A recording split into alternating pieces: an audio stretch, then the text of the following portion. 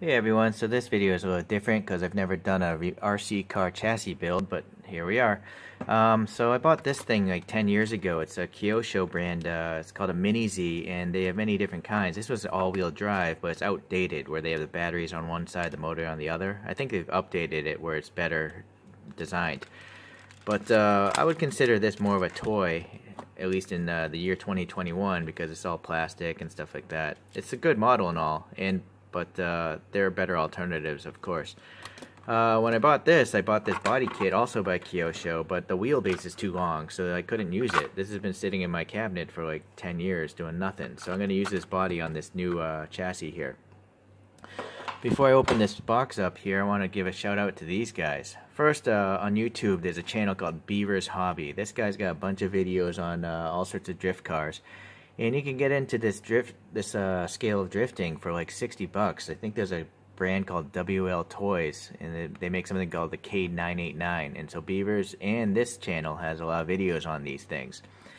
So the second channel I found is Garage RC and this guy actually has this this kit that we're going to look at today but he doesn't have a video on how to build it. And I couldn't find any English speaking videos on how to build this. I, I found some in Thai and they're pretty good as well but uh, I don't really speak that language, so I thought I'd help everyone out and see, show you guys how uh, an amateur like me might be able to put this together or fail. Maybe this video is going to be edited six billion times because I don't know what I'm doing.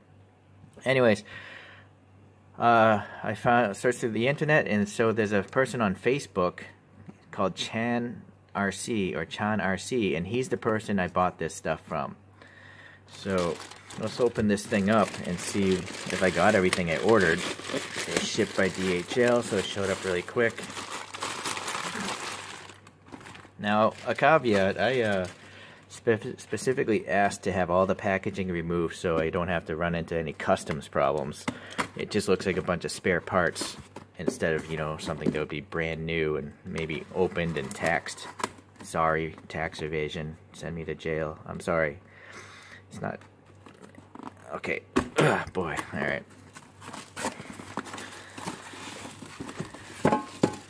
Oh, and he also sent some... Well, never mind. Let's, let's just open this stuff up. Alright, interesting. This There's some actual branded uh, packaging here. Or no, it's the tape that has that brand on it. Okay, so I know nothing about this uh, Merco design, and this is called the Drift Art 2 chassis. This is uh, the seller's extra here, I guess, Chan RC. This is a setup plate. We don't need to worry about that right now. Okay, so nothing else here. So I also ordered a bunch of electronics to make this thing run. The chassis is one thing, and then you still have to, you know, put in all the electronics and stuff. So let's take a look here. This is the uh, I guess uh, the manual for the uh, electronic speed controller and the motor. There's a combo there. What is this thing? This is uh, the servo or something. No, this is the motor. 7200 kV. Some sort of a cheat sheet on running modes and setting up probably the electronic speed controller. Same here, some sort of codes and firmware and stuff like that. I'm guessing you can probably program this stuff. Alright, I'm sure there's many videos on this, Team Powers stuff, but we'll tackle that later. Okay, so this is a servo. No, this is the uh, electronic speed control here. Okay, in fact, uh, let me move the camera closer now. Get a little better light angle here. Alright, so yeah, this is uh, some wiring to hook up to the receiver, and uh, this must be the radon speed controller to the motor. Okay. This is the actual motor. It's a brushless motor, and uh, again, it's part of the same thing, a Team Powers thing. We'll get to that later. Here's the steering servo. This one is uh, this model number, AFRC 0211, whatever. Okay. Uh, this I didn't know would come with it, but I think it's a programmer or something for that uh, electronic speed controller. You just hook it up and program it just like on a real car, tune it. Alright. So all those were extras. I think all this stuff now, oh, sorry, this is another extra. This is a gyro. So this can set the uh, response to steering inputs and stuff. You don't necessarily need one if you're a good uh, driver like uh, those YouTube channels are. But uh, I'm not a good driver, so I'll probably have to use that for sure. okay, now I think all this stuff is the actual kit for the chassis made for this. I don't know if Art is the brand or, or what. But anyways, so these are all building tools. Hmm.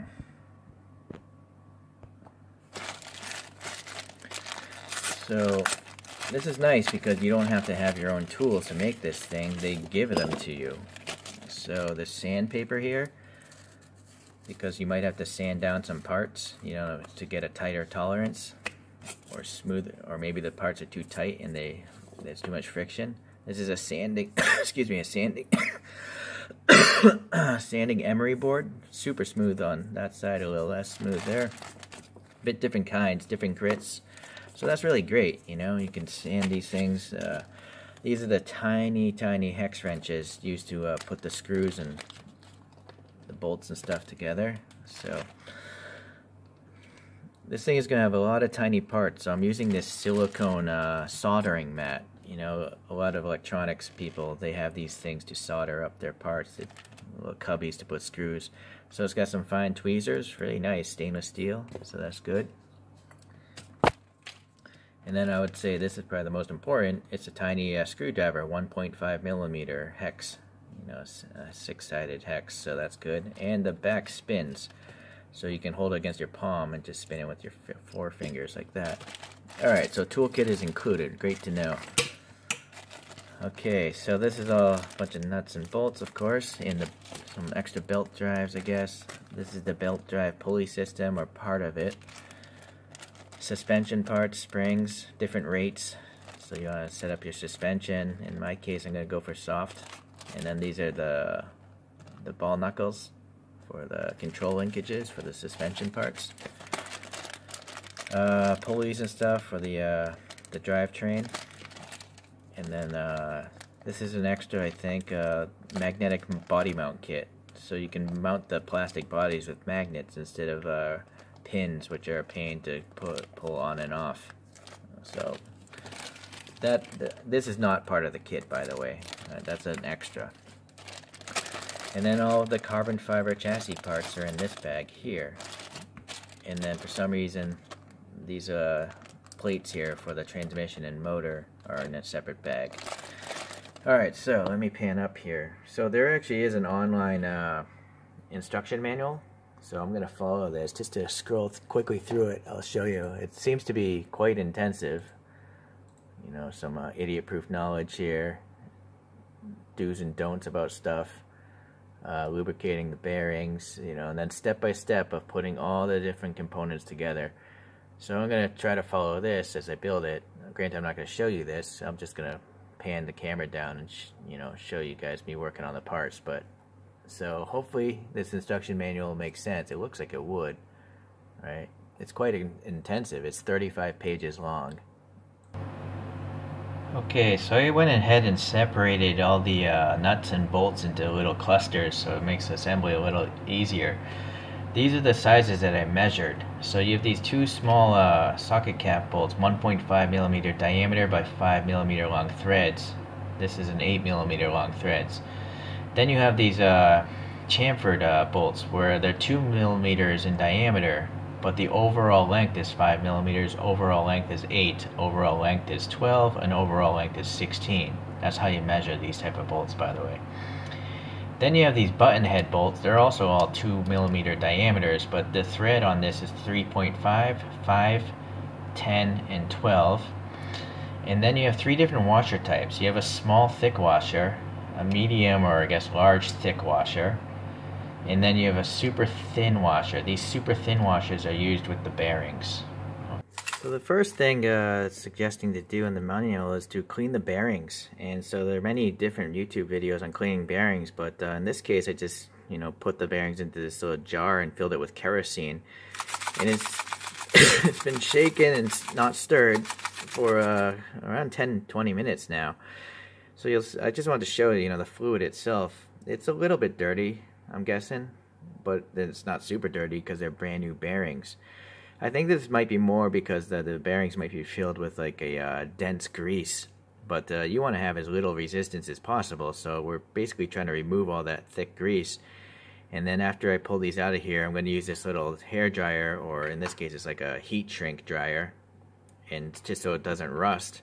And after this, I'm gonna, you know, fill in the uh, bearings with some really thin uh, oil, some sort of thin oil lubricant, so it provides very little resistance. So after I uh, drained out the kerosene, I just dumped them on this tissue paper, and then I used that heat heat blower to get the bearings hot, so I know all the volatile uh, substances have uh, wicked off. And now I decided to use this, uh, you know, sewing machine oil because it's super low viscosity. You can see it's it's not quite watery, but it's definitely pretty thin, you know. So, and I don't intend to run this outside or in the rain. It's just too small of an RC car to do that. None of the electronics are protected anyways, unless I waterproof them. So I'm just gonna let these bearings sit here for while I build something, and then I'll uh, take them out of the oil and wipe them down. Okay, so I went and separated all the parts out because there's just so many. I think it would be faster in the long run if you actually separate all the parts. Uh, and also I want to talk about other tools. You know, it came with these straight stainless tool uh, tweezers, which are great, but when you're picking up little parts, it's always easier just to have a, a angled uh, set of tweezers. You know, so it's just this is easier to pick up stuff instead of holding it straight like that. And then these are actually locking ones in case you need to uh, hold clamp something down for whatever it might be. So I'm going to utilize these. And then um, it's always good to have digital calipers because you want to measure the, the thickness of the bolt and the length of it. And also I just want to talk about these Allen wrenches that came with it. So let's in case you lose these things. So the very small one is around 0.7 millimeters. It's a 0.7 millimeter hex and then the larger one it's a 0.9 millimeter hex so 0.7 0.9 and then the big one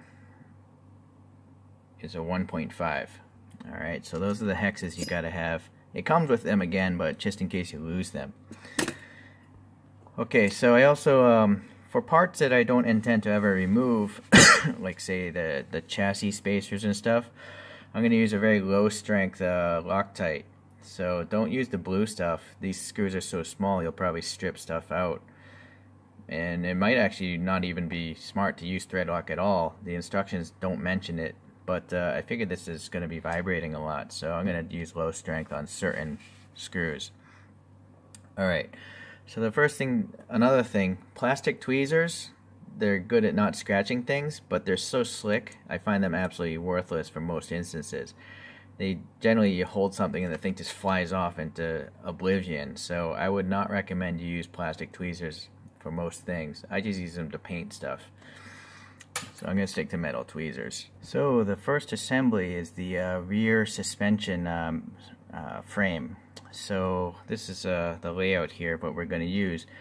And it's using these 5 millimeter the thread is 5 millimeters long let's just make sure yeah 4.5 5 it seems to be only one of the shorter versions here and then the diameter is 1.5 millimeters so we're going to use two of these things but uh, you'll notice here you can adjust the, the you know where the shocks are going to be mounted so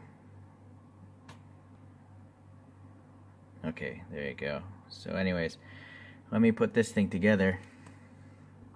And this using the 0.7 millimeter um, hex on these little ball ball ends here. So I know these ball ends, I don't want to ever remove them from their studs, so I'm going to thread lock those with the very low strength again. I'm going to go with the middle setting for now. I see. So this um this is a very tight fit here. I'm literally threading this uh, aluminum suspension suspension mount here. So that's interesting. A little bit tight, but you can definitely work through it. And this one I guess I will add a little thread lock, why not?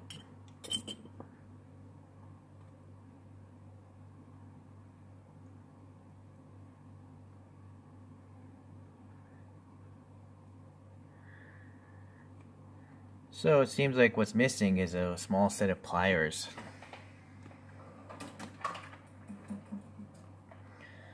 So just use my cheap ones here.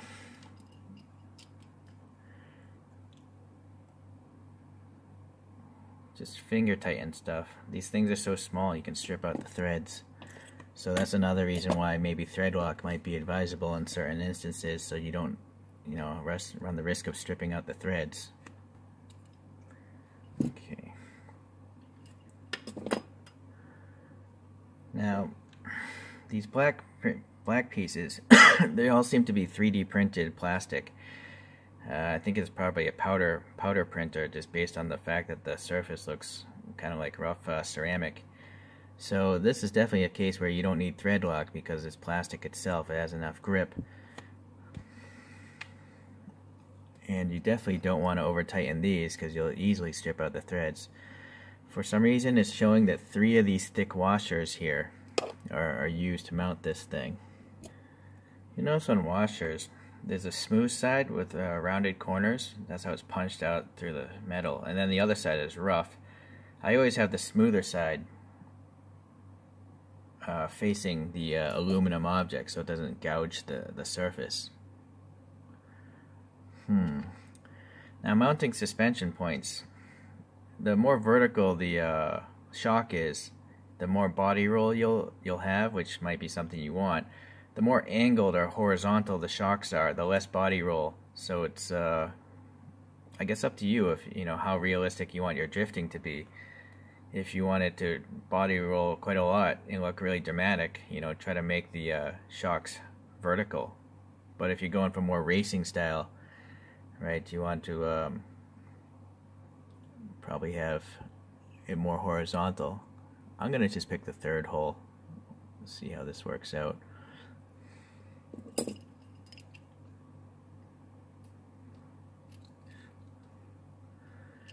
So it's actually nice that these holes are a little bit tight because it kind of holds this, the bolt from just falling out.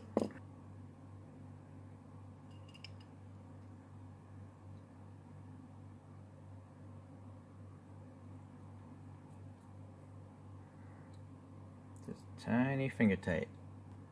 So this part is done.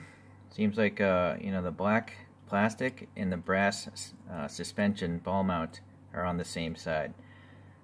So now we're going to the drive shafts. So the instruction manuals, they're showing a lot of black bolts and a lot of black nuts, but this kit, everything's gone stainless. All the bolts are stainless now, so it's a little bit different than the um, instruction manual that I'm referring to here. And also the instruction man manual is showing this part to be uh, metal, but now it's 3D printed plastic, which is a little bit concerning. I'm not sure if I like that. I would much prefer, you know, metal dog bones. Okay, so you have this metal thing here, and that has to slide into the big hole of this. There we go. I have to actually insert this thing into this cup and now I have to try to get that shaft through both holes. So this is going to be a challenge, especially on camera.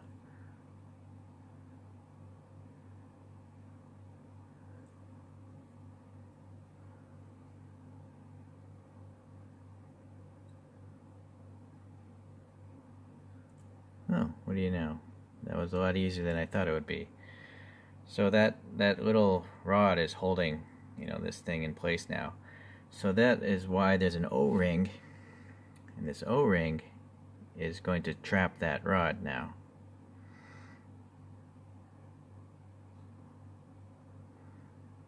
Okay, so that's what's going on.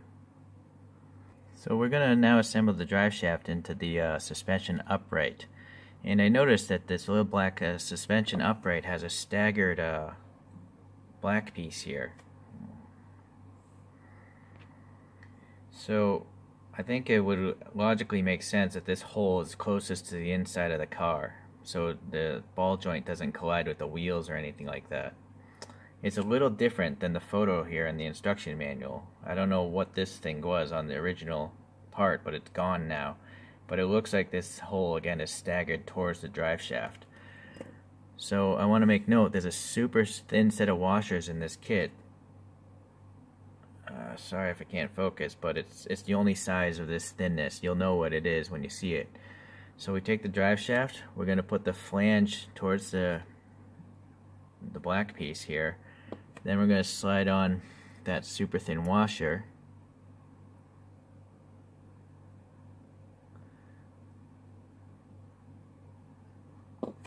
Alright, then this black piece here with the, uh, oh, I have it backwards. So again, I want to have this hole going towards the drive shaft, uh, closer to that side. And then the bearing again with the flange on the outside. Sorry if I'm losing focus here. There we go.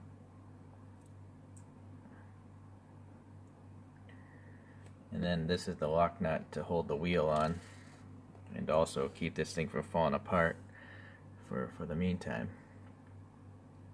So now we're going to put the lower uh, suspension together for the rear end of the car. Um, I want to make note that there are two sizes of uh, pivot pins. There's four of these really long ones, and then there's eight of these small ones. We're, we're going to use the small ones, so put the long ones away for now.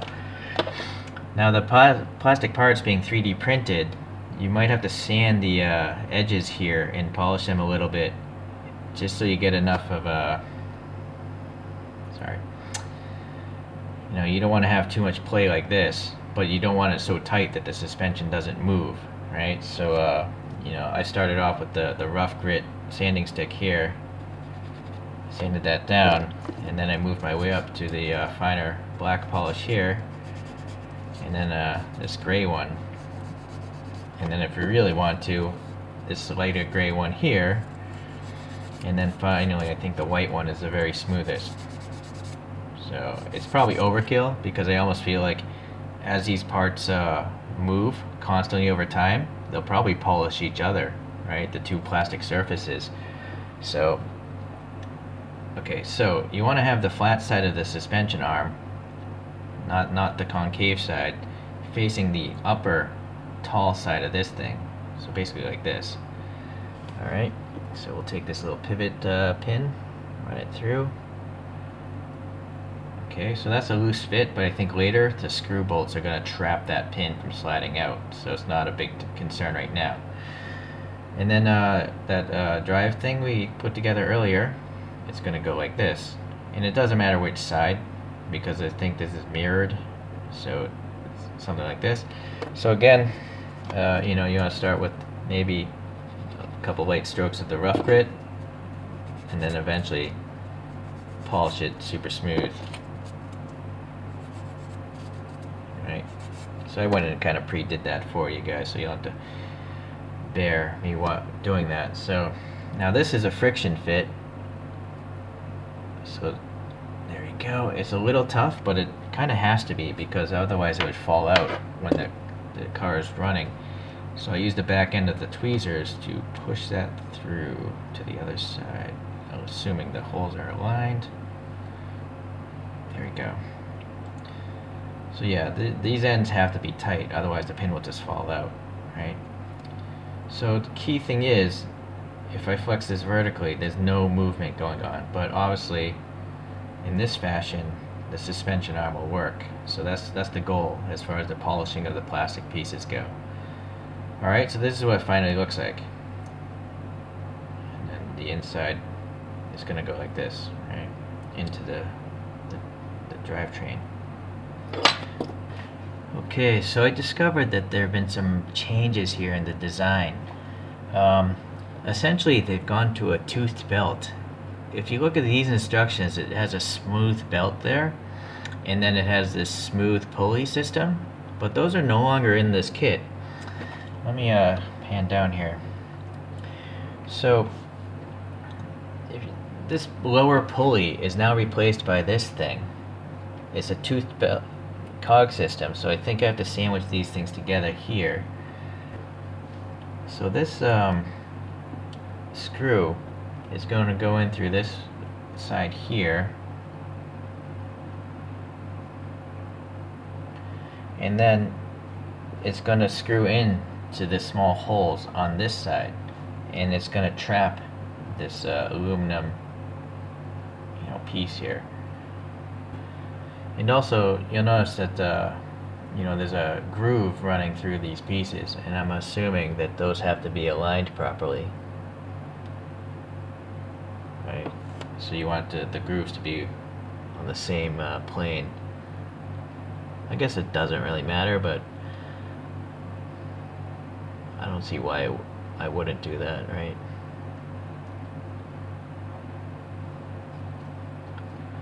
Just having a hard time threading into the other side. Uh, there we go. Okay. So you'll see now that uh, bolt is going, you know, in the, the larger of these three holes. So I'll flip it around and do the same on this side. Alright, so now they have all six in. Just finger tighten that one.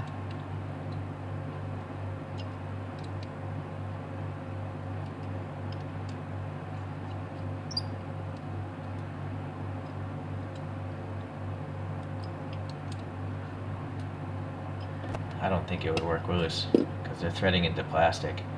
Okay, so that's going to go into the transmission later. Now back to um, this instruction manual, right? So this is going to become this piece here. And then in the same bag, you had the tooth, this tooth pinion. And in that same bag, there are three grub screws. There are the larger of the grub screws if you separate all your pieces separately. So I went and put them in already. Okay, so let's get to the side plate. Actually, you have to scroll upwards here in the instructions.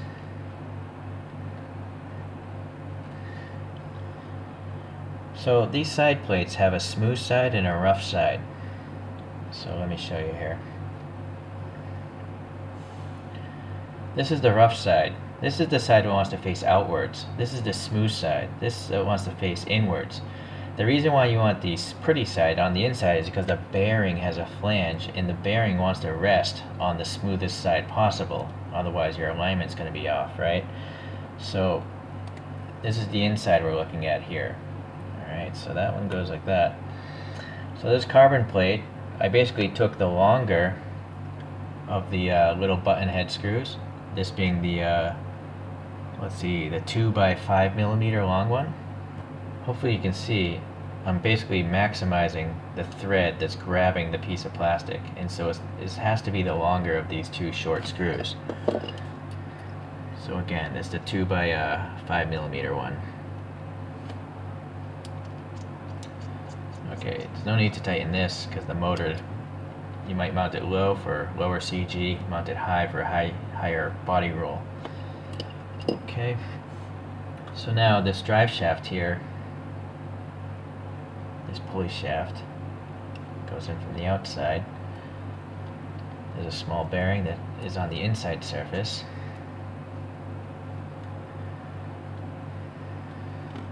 What I don't know is which way this pinion goes, if it goes this way or that way. I don't know if it makes a difference. The only difference would be the access to the grub screws. But uh, I don't think it really, you know, the thing's central anyways, so...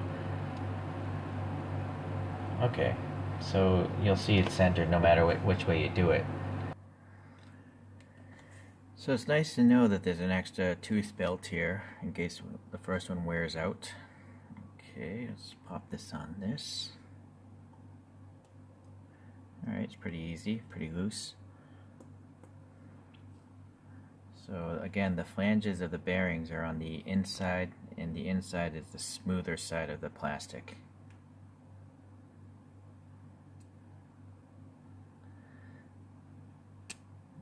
Okay, so something like that. Now uh, there's this little carbon fiber cross brace and I'm going to mount it to the top here, right here, and I'm using the longer of these short button head screws. So these are the 2 millimeter by 5 millimeter long button heads.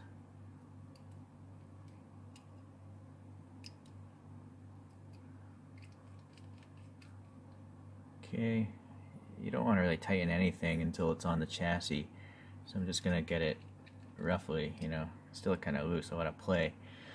Alright, so now that uh, suspension uh, brace here, uh, again I'm using the longer, the 2 by 5 millimeter button heads, and that's going to screw in right here.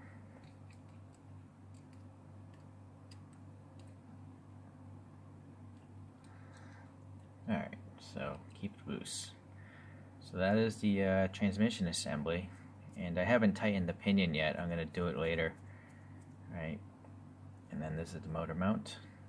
Okay, the flanges of the bearings are on the inside. Okay. Now it's time to uh, assemble that transmission and the lower suspension arms to the chassis. So it's an interesting sandwich process here. We have the main chassis plate here. These uh, suspensions are going to rest on top of it. And note, this little nub is forward. It's not. It's not in the back. And then on the bottom, this little carbon piece here, oh, this direction, sorry, the pointed nose goes forward, so this is flush. And then we're using these uh, chamfered screws. These are the uh, M2 by 8 length. And so they're going to feed in from the bottom here.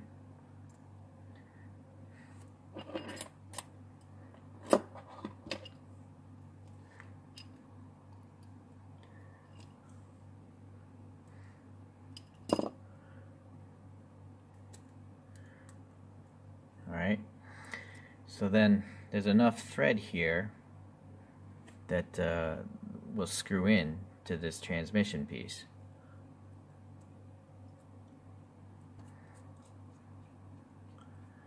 Okay, so that's basically what's going on. I'm just going to slide this one here.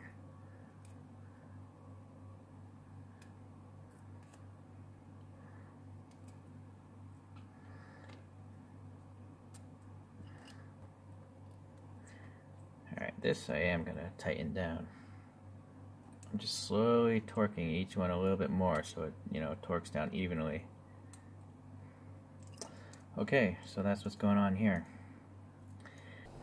The next thing to do is to make the upper links for the rear suspension. So what we have are these little, uh, you know, ball ends here, and then I just have some little electronics clippers to clip those off. And then we're going to use this little 1.2 by 8 millimeter threaded rod which is quite small indeed. It's this little piece here. so you could, you know, just with a tight grip, you know, slowly thread that on. If you don't clamp too hard with pliers, you could use that. But I'm going to try, excuse me, this method out. I have a little uh, mini drill here, a hand drill. And uh, I'm going to actually clamp it into this drill thing here.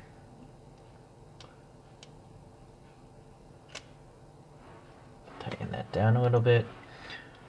So now I, I can just hopefully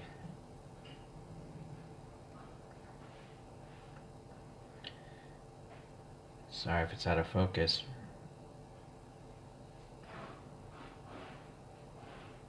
Oh, sorry. Well, anyways, there. It's just an easy way to start the thread. Okay, so once that's done, there we go. So this thing, eventually this metal rod does bottom out. So you don't have to be too precise. It's, it's asking for a one millimeter gap. And now that I have the extra traction of this one, I can probably do this one by hand. So let me uh, start this thing.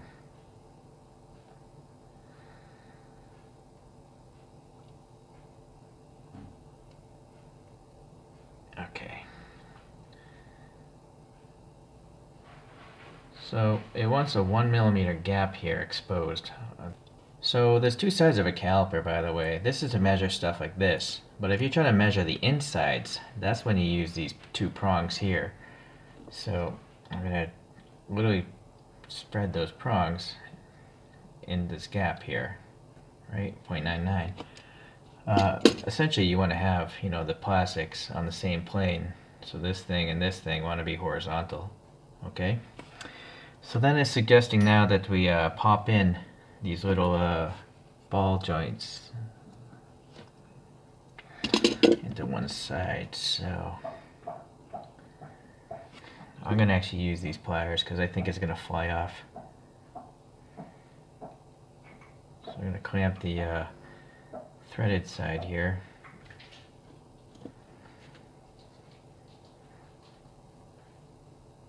Okay, bring this back. We have the ball joint from very early on. I'm Gonna pop that on here.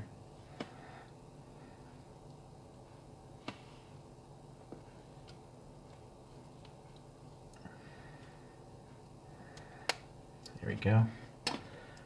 So then you have to remember to have it opposite and then, then I'm going to thread this into the top of the, the upright here. Don't tighten it too much. Alright, so that's you want to make sure that the actual dog bone is in the transmission, otherwise it's not going to work properly. So make sure you get that dog bone in there. Alright, so yeah, if I did this again, I would add these arms to this before this thing is attached to that. Okay, so that's keeping the upright in place now. So here we're going to assemble the rear shock. So this is the assembly uh, view here, the exploded view.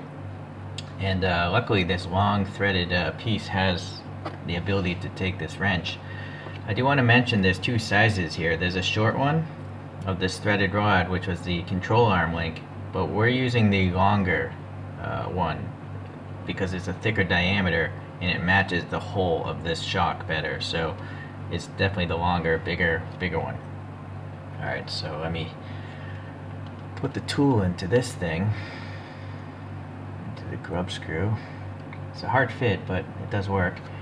And then I'm going to thread into the end of the shock this little ball pivot piece here. And I'm actually going to start it with my fingers. It seems to be easier to do. And then I'll use the wrench until it bottoms out in that plastic. Alright, so take that wrench out. Now this screws into this plastic piece. And what's weird again is, uh, pan up to the manual here, the manual shows it's an aluminum piece, but now they switched over to black plastic, so probably to save on costs, which is kind of a letdown. You know, this, this thing was pretty expensive, so I kind of want it to be metal, if it can be. Anyways, I'm screwing it all the way onto the thread. Okay, so I'm going to mount the shock to the, this thing. So this uh, black plastic piece slides into this piece up here on the this uh, earlier assembly.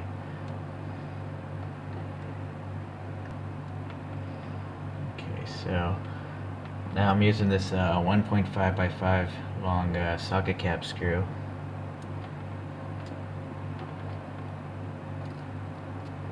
And that's going to attach it to this suspension arm.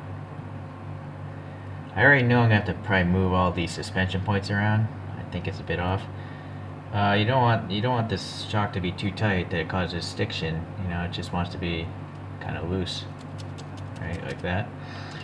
So what's going to keep this shock from falling out of this piece is uh, another 1.5 by 5, and then I have these two washers on it. I have the small thick washer and then the big thick washer underneath it. Okay. So hopefully you can see. Small thick washer and then a big thick washer and then that screws into the top of that shock I just put in. And it traps it.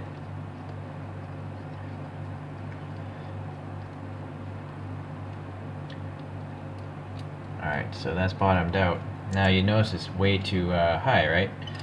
But if you just un unscrew it now, you'll see that rod is lowering the suspension arm.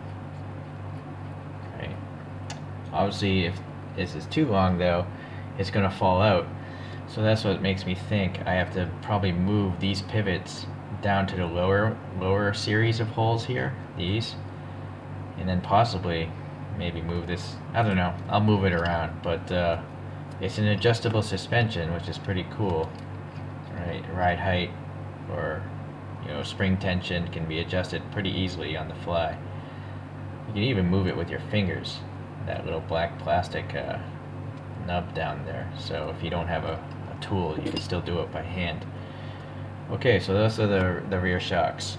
And now we're on to the uh, steering knuckles here. So this is the uh, assembly view here. So we're going to take this bearing, put the flange over on this side, press that into the uh, inside of the steering knuckle, put this little thin washer on there, washer bearing, bearing washer, okay press the uh, other bearing from the outside so the flange is going there. Okay. And then just uh, secure it with the uh, nut that holds the wheel on so this thing doesn't just fall out. Okay, so that's simple enough. Now the challenging part is putting the control arm balls onto this thing. So it's the larger of the hex keys and then uh, this one single ball goes on the bottom here. I like to, I'm going to start it with my fingers just to try to keep it aligned with the hole. And then use the key. Not too tight because again it's you can strip the threads. That's probably good enough. Okay so another single ball here. This is for the steering link and that's going to go right here.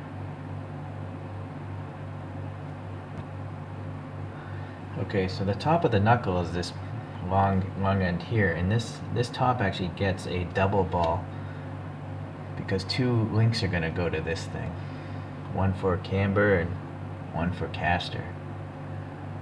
So again, this one I have room to start with my fingers. Okay, so those are the two finished uh, steering knuckles.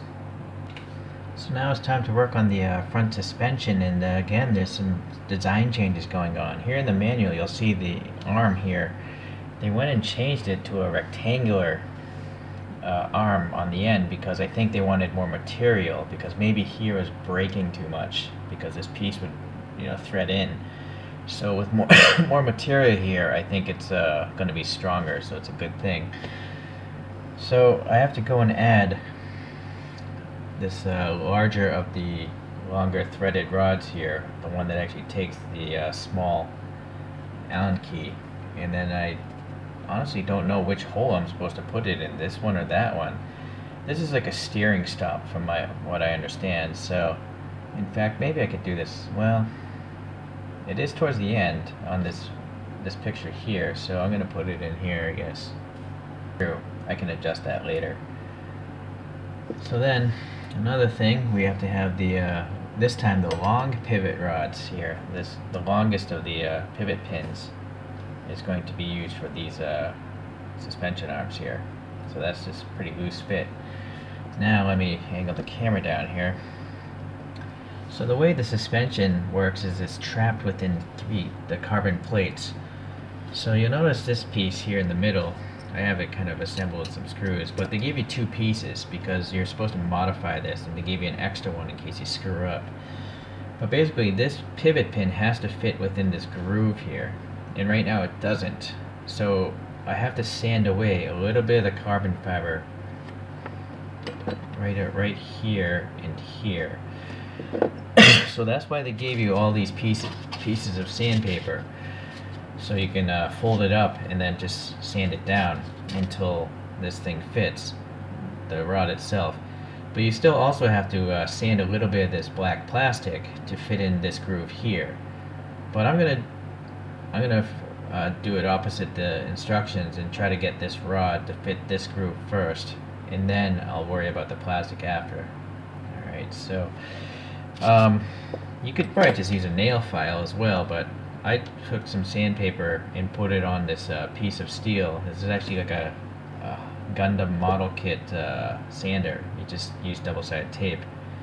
And then I'm just going to go in here and uh, sand it away a little bit. Okay, so now I'm going to put in the ball ends into the, each of the suspension arms.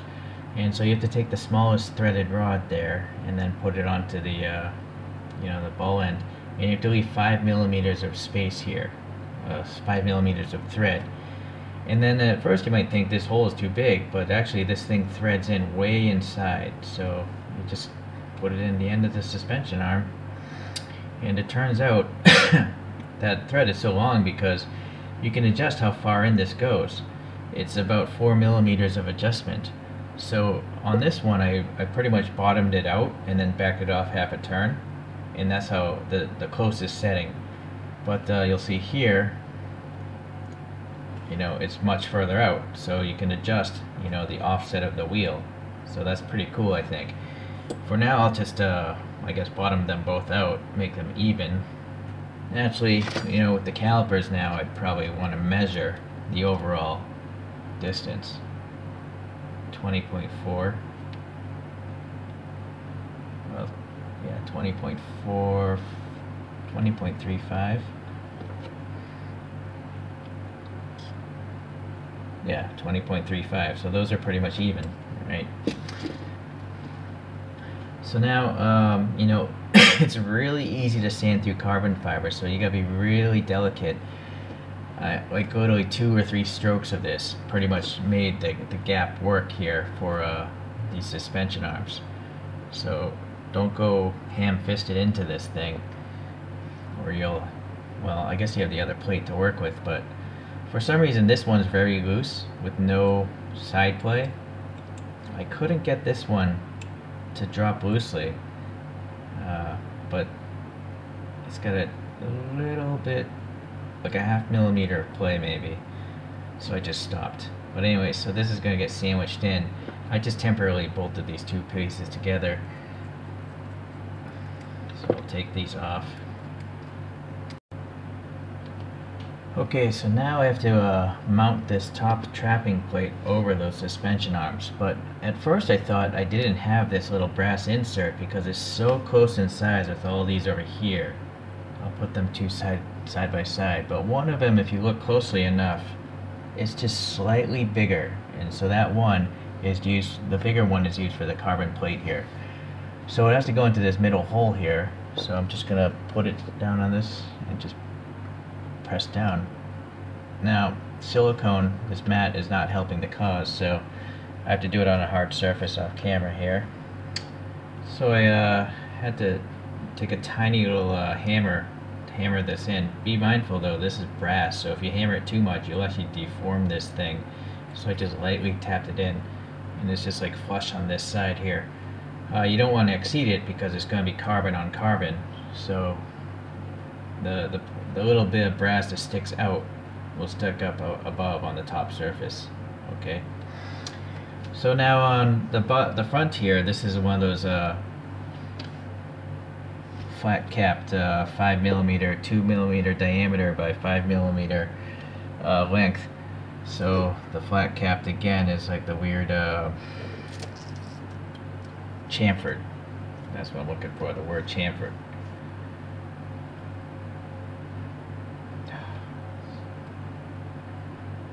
So that type of screw. Okay. And then these other ones are the same, but they're uh, the 8 millimeter long versions.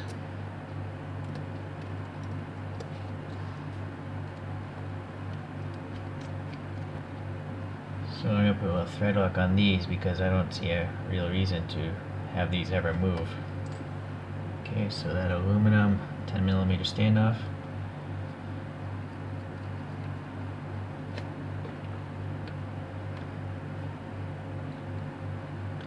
Okay, so we're gonna finish off this section here.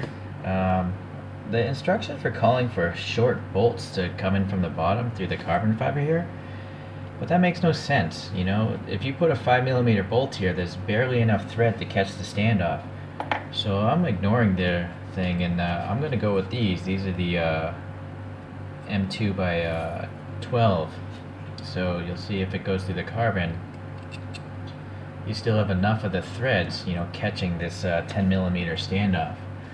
So I'm going to put a little thread lock on there because I don't expect to really change this ever. It's not adjustable. Okay. Then you have these carbon plates where you have to put in the smaller uh, brass nuts here on these two holes. And then uh, when you mount it, I'm using the 5 millimeter long button heads and you there's a specific direction for these. You want to have the brass as close to the middle as possible. So what I mean, you have two brass inserts, you want to have them inwards. You don't want this thing out here, so you want to make sure it looks like this. Okay? Doesn't have to be tight because uh, it's going to just get assembled to something else. So let's move on to the servo now.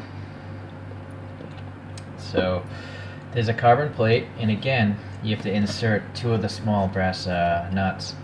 And this side is perfectly flat, but this side had a, a recessed hole, and so I, you know, I used a, a screw method where I sucked in the uh, the brass.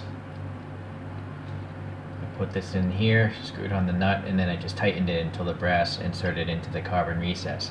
So you still uh, can see that there's a bunch of brass showing, but most of the knurling is inside the carbon right? So it doesn't spin out. The next thing you want to do is you want to take these smaller standoffs here, and they are 8 millimeters long. And uh, I'm using like the 5 millimeter long button heads.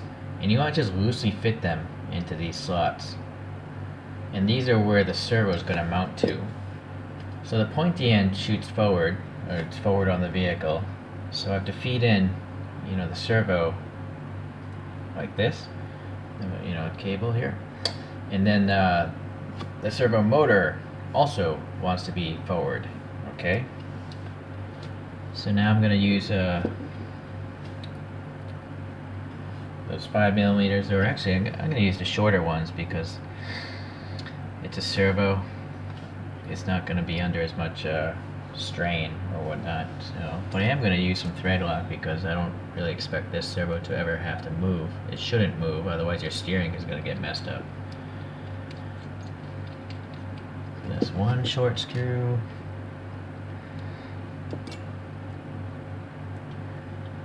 Two. Okay, so these I'll tighten down. Now, so the reason why those standoffs are loose is because you can actually slide it a tiny bit back and forth through this. Right, hope you can see that. So, I don't think it really matters, to be honest where, with you, where it's located here. I just want to have it as equal on each piece of the carbon as possible, so something like that before I tighten it down. The reason why it doesn't matter is this entire carbon piece is going to slide within the frame of the the car, the, the rest of the the rest of the RC car here. All right, so finger tighten again. Okay. So open this thing up. So now this carbon plate is going to feed into here. That's why the pointy end is forward. You got to remember to keep the cable here. You know, don't shoot it out the bottom or you'll have a hard time getting it back in through the uh, thing. So now what's going to hold this plate in place are these two little holes here. And so you want to use a smaller diameter, this little uh, 1.5 by 5 socket cap, this, this type of screw here. And I'm going to put a little thread lock on this because it's going into those brass inserts. Right, like that. if it's metal on metal contact, then uh, a very thin thread lock, uh, a weak thread lock will easily, you know, break loose. But I also don't want this servo to be sliding around, so, you know, which will obviously affect my steering. Okay, so I'll need to tighten this because, again, I don't know where it's supposed to be located yet. Sorry. When I get a dry throat, I cough. I don't know why, but it's always the case. Okay, so now let's talk about the servo steering horn. There's three of them in the package. And the only difference between the three is the diameter of this hole that fits onto the servo, because different servo brands have different size uh, uh, rotary heads, I guess. So for mine, it's the largest one. I already went ahead and pre-installed one of the small brass rivets here, and then it's using the 1.5 by uh, 8, uh, the longer of the small socket cap screws. Okay. Now, I figured out an easier way to install these. You know, this thing was an L-shaped hex key, which makes no sense because you're just trying to work in a an axial motion like this. So I just took some clippers and it clipped off that other short end, and then it made inserting these a whole lot easier, you know, just doing that. So I went ahead and did that already. In learning from my lesson from doing the rear uh, suspension arms, I'm going to put the suspension, uh, the steering links on right now. Because if I put them on here, like the directions say, the directions say do this after, but it's going to be hard to get it in there, right? So I'm going to just put them on this thing now.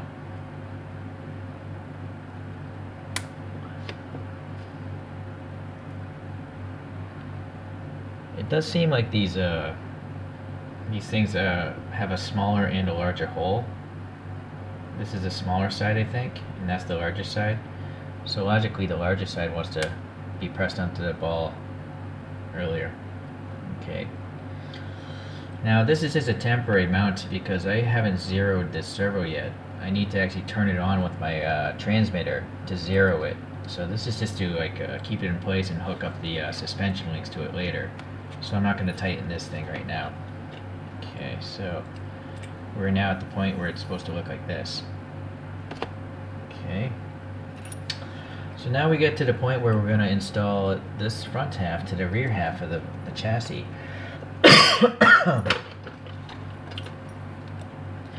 so here we are. The rear half of the chassis is on top of the front half. You know this because you can see here in the full forward position it keys into that carbon plate but it's it can slide back and forth because it's got these two holes here.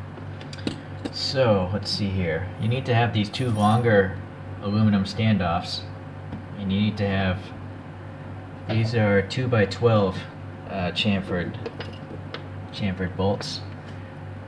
And the reason being is underneath here you'll see this is a chamfered hole. Alright, so I'm going to feed those in there. Hold that in place I'm not sure if I I don't think I'm going to thread lock this because um, if I have to adjust this, the length of the wheelbase it'll just be easier if, if the thing is not thread locked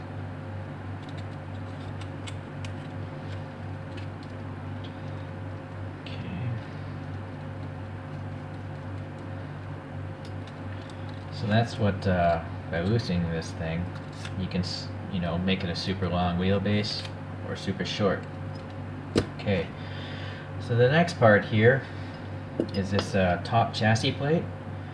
And uh, you have to insert the smallest of those brass inserts again to the extremities of the holes, the four furthest away holes. And uh, I inserted them from the bottom upwards, so the brass is sticking out the top okay and then I'm using the uh, longer button heads here so they would be the uh, M2 by 5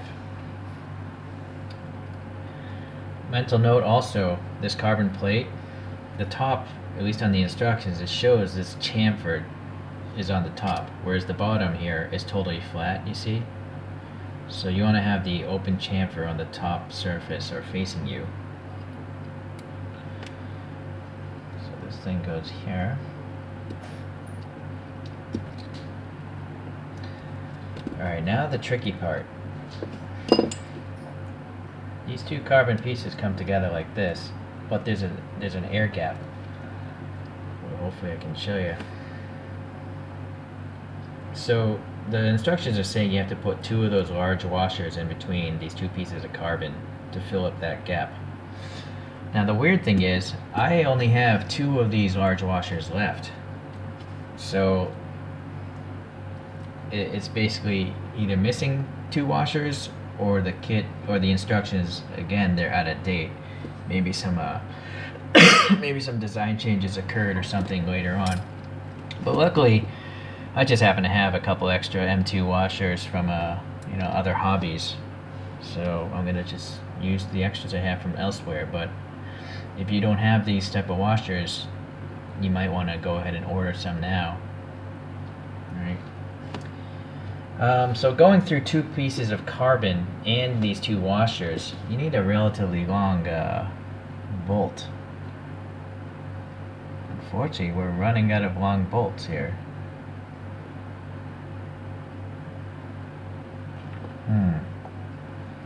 There's not no choice really, except for the this button head that's uh, five millimeters long. Oh boy, so I might have to uh, edit this because I, I don't know if I'm going to get this done properly. Oh, come on, maybe.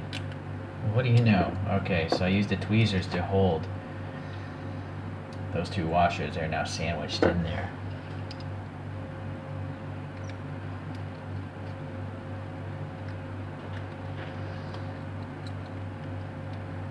trying to find the hole in the bottom piece of carbon. Ah, I see, it's because it's pivoted. Alright. So that that wasn't enough threads. It just wasn't. It screwed like a quarter turn. So I need to have a longer bolt, I think, running down in here, I think. It's just, it's too short. Huh. But uh, there are no other longer bolts. So this is another concern. I don't know what the deal is here. Yeah, see, look, I, I unthreaded it and only that much is showing. So that's simply not good enough. So I'm gonna have to take this out. And luckily I have a bunch of other M2 bolts, but this this 5 millimeter long one isn't good enough. Uh, I'm thinking it needs to be like more like 8 or 10 millimeters long. Okay, so luckily I have a couple other uh, M2 uh, socket cap bolts laying around. Granted, these are black. But this worked on the other side, so it's a six, six and a half. I guess it's meant to be six millimeters long as far as the thread goes. Okay, so I here I managed to put in those two uh, washers, but they're too th they're too thin. You see, the carbon in its relaxed state, it doesn't want to be down there it just wants to hang out there. So I think I need a, more spacers in there. I want the carbon to not flex because then the chassis will be under tension. Okay, so luckily I had these little plastic washers sitting around and these are um, one millimeter thick washers. I think truthfully, ideally, 1.5 millimeters would get it spaced properly, but uh, I just put these in. You can see maybe it's a little bit, you know, canted downwards. But I'm going to just leave it as is right now. I can always take it apart later. So, so be mindful. You might need to have some extra washers or spacers, and you're probably going to have to have an extra long, a longer screw of an M2 variety. So, okay, so that's that part is done. Okay.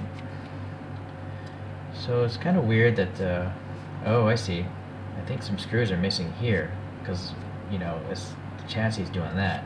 But we'll get to that later. Next we have the battery retaining uh, clips here.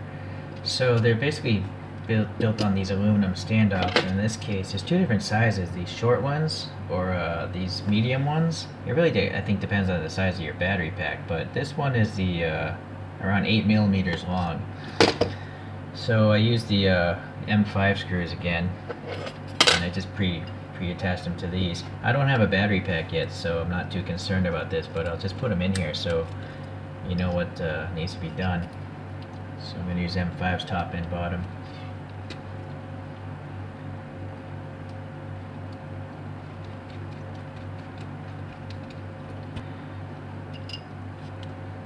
Alright.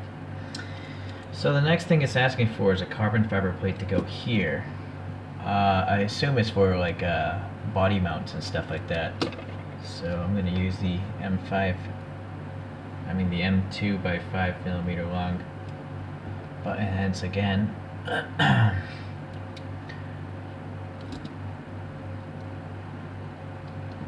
Going right into the plastic of that uh, transmission housing.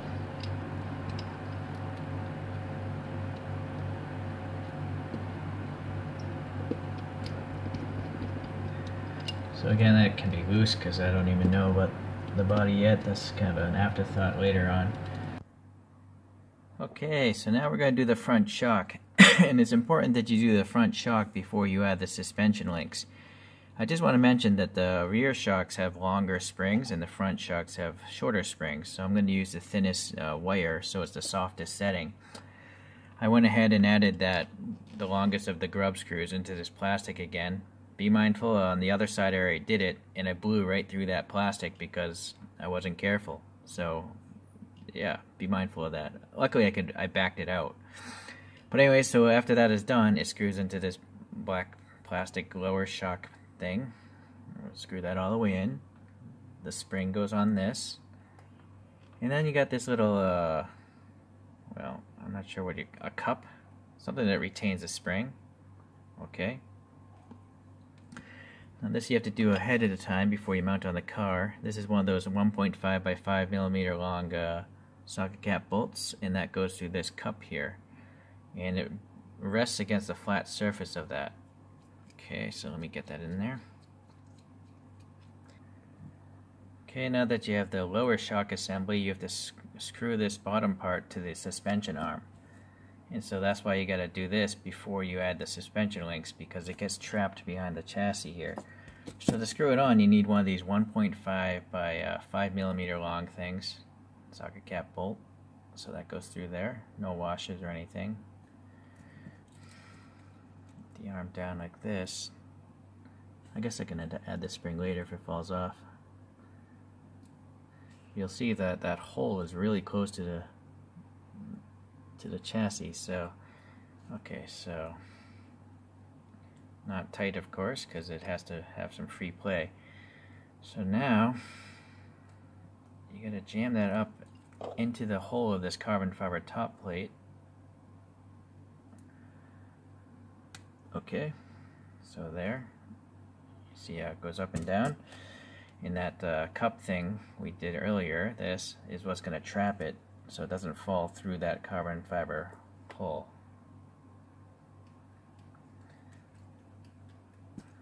Okay, so by adjusting this thing, you see the suspension arm going up and down. You can adjust the ride height really quick and easy with that. So that's, that's a cool feature, I think. I am also noticing I think the steering stops may be in the wrong location. It's hard to say right now, but yeah, I don't know actually, maybe not. See, it stops the, the thing from moving. Actually, let me add the links here, the suspension links. So the first two were already attached to the servo arm here, right? So let's get this out here and attach it to the steering link here.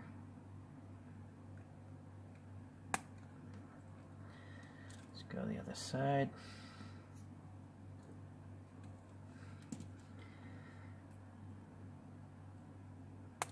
Okay.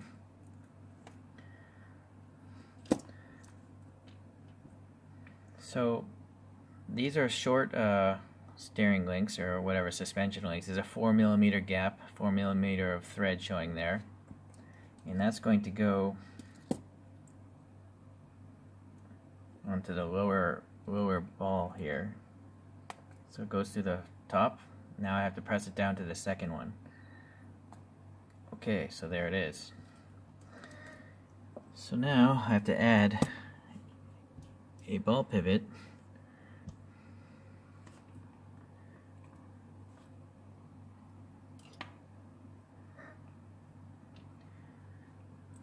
to that brass insert that is on this carbon plate. So we got this. I don't know which one to go to, so I'm just going to go with uh, the outer one. Oh, so here's a problem. Yeah. So this brass insert, it's not very, uh, it's not a good design. It just went right through the carbon hole. The hole is not tight enough. So, boy, that's a problem, right? It's, it's supposed to stay right here, but it just went right through. right? So that's that's an issue. I I don't know a solution to that. I, I guess you'd have to add some epoxy into around that brass pivot. I mean the brass nut, and then enter in the carbon. But ideally, a simple solution would be a longer threaded ball thing and then you have a nut on the underside of the uh, carbon so it can't pull upwards but uh, right now that's that's what's happening so I don't know if I can even put this arm on here because I think it's just gonna push right through again yep it did alright well let me uh hopefully the other one will not push right through and then pray this doesn't blow through.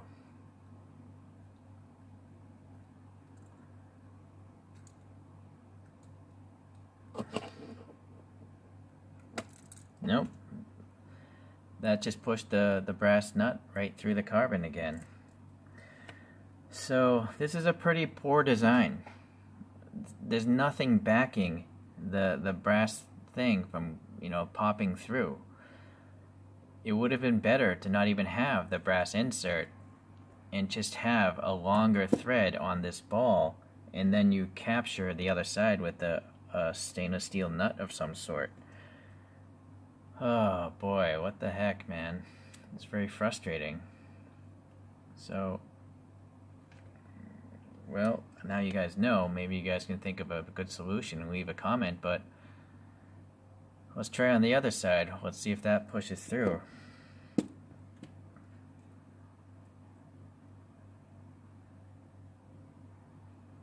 need the shorter, shorter link here. Alright, so that one at least stayed in place, so that's good. Okay, so that goes to the bottom. So now this longer link has an 8 millimeter gap between the, the black plastic. So that's going to go on the top ball of this uh, steering knuckle. Okay, and then it's going to go here. Alright, so this is what allows you to pull this thing back to adjust the caster, this, this angle here. Oh boy, so I don't know what to do about this side if I can't keep these things from falling out, these two, well, this suspension link is just to have a problem, right? I ended up crazy gluing these things in. So I just put some crazy glue on a piece of uh, paper. I put a toothpick through this, this brass thing. I rolled it in the crazy glue, and then I very quickly put it on the bottom of this thing and pressed it against a steel surface so it snapped in and is flat again, but it's surrounded by crazy glue. I have a good feeling these probably won't fall out now. So one thing I noticed here is the uh, servo, you know, how it moves. If you move it forward, it creates toe out, whereas as far back, it's relatively parallel. But if you move it forward all the way, it's going to actually hit the, the lower shock mount, so it won't it won't actually steer. So be mindful. It's probably best to just keep it in more rear position. So now we're going to add a plate that keeps the battery from shifting back and forth. So it's this piece of plastic that mates to this piece of carbon and I'm using these short screws. So these are the M2 by 3.5 and so they screw in like this.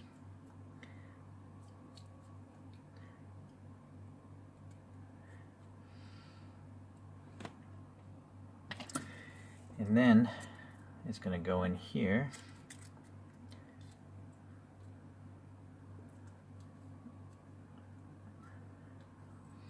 Seems to be in front of these aluminum standoffs. So like this, okay. And then it's going to get screwed in by the bottom. And there's only two of these left here. These are the uh, 1.5 by 5s. So these must slot in here. Alright, so it's the addition of these two and these two is what helps it keeps you know the back and the front aligned. Without those additional screws, you saw earlier that the whole thing shifted, right? So you have to have that. Okay, so now there's a couple extra parts here. I figured out what these three are. This one can bolt up here, and this will clip into the mini Z body.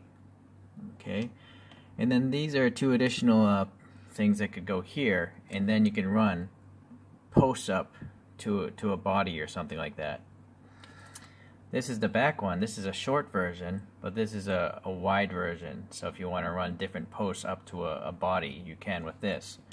This is that extra part that you could use to sand and screw up with. What I don't know is this is the last carbon piece. I have no clue what this is because it doesn't match up with any holes. It doesn't match up with these battery mount holes. It doesn't match up with these chassis slider holes. Oh, no, it doesn't match up with those two holes. So this is a bit of a mystery. I was looking back here and it doesn't match up with, it's wider than everything back here. So I, I have no clue what this is. So interesting. Alright, so let's look at the extra parts. So there are some spares in case something breaks, like the end of a shock. You got one piece here. Um, you got six of the uh, control ball ends, which are nice, right? And then you have an extra uh, suspension link that goes into those you got a couple of of these extra large screws for you know running different posts or whatever for the bumpers and stuff some uh, more standoffs the top of a shock right here this I haven't talked about yet because I haven't installed the motor and this is actually a big concern. This is for the pinion to the uh, the brushless motor and there's also three very tiny grub screws. I'll try to show you this. Right? So these three grub screws are supposed to probably hold this pinion on the, the shaft of the motor.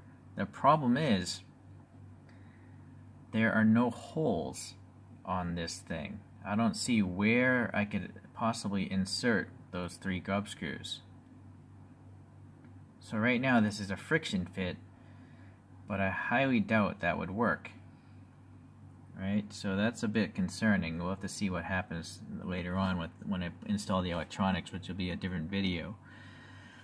There's an extra bearing here, uh, some longer standoffs, a whole bunch of these short M2 screws, and then uh, one big, big uh, brass insert, and like six or seven of the small ones, which leads me to believe that this company knows about this problem. I'm gonna guess that a lot of these brass uh, nuts fall out I think this is a design flaw. It would have been so easily solved if they just had longer threads here and then you just capture with a nut on the other side, right? If the if this had a flange wide enough to not fall through the hole. But uh, that's just me. Alright, so obviously I'm going to have to go and uh, adjust the suspension, you know, the cam, the toe out and all that stuff. This is all jacked up, but uh, it's easily tunable, so that's good. And I have to go and tighten everything down because everything's pretty loose right now. Right? Okay, well, hopefully, hopefully you guys learned from me discovering a lot of problems. You might need some extra uh, bolts, possibly spacers or extra washers. And then uh, I still don't know what's going to happen with the pinion. So stay tuned and I'll do a different video. Thanks for watching, guys.